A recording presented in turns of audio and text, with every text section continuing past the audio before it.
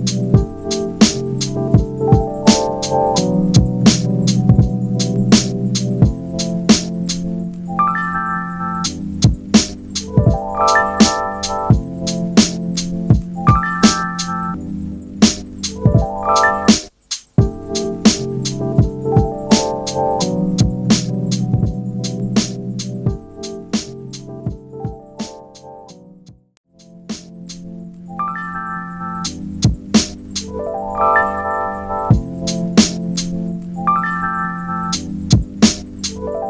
you.